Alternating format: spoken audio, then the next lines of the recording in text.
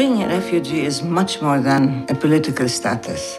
It is the most pervasive kind of cruelty that can be exercised against a human being. You are forcibly robbing this human being of all aspects that would make human life not just tolerable but meaningful in many ways. The more immune you are to people's suffering, that's very, very dangerous.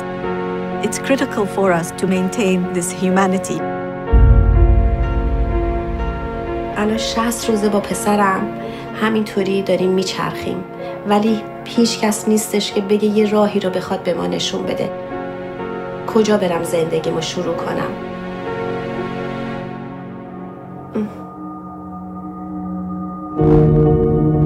If children grow up without any hope, without any prospects for the future, without any sense of them being able to make something out of their lives, then they will become very vulnerable to all sorts of exploitation, including radicalization.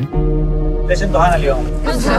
طشة آخر الفصل المنفذ الوحيد في غزة في السجن الكبير غزة مش في غزة حصار. بس سجن كبير يعني The officials came here and told them, look, there's no way you're going to get papers to continue. Either you go voluntarily or we arrest you.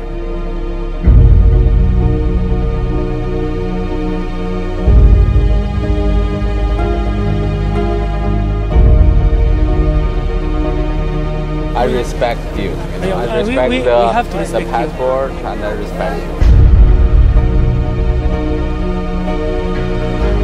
It's going to be a big challenge to recognize that the world is shrinking and people from different religions, different cultures are going to have to learn to live with each other.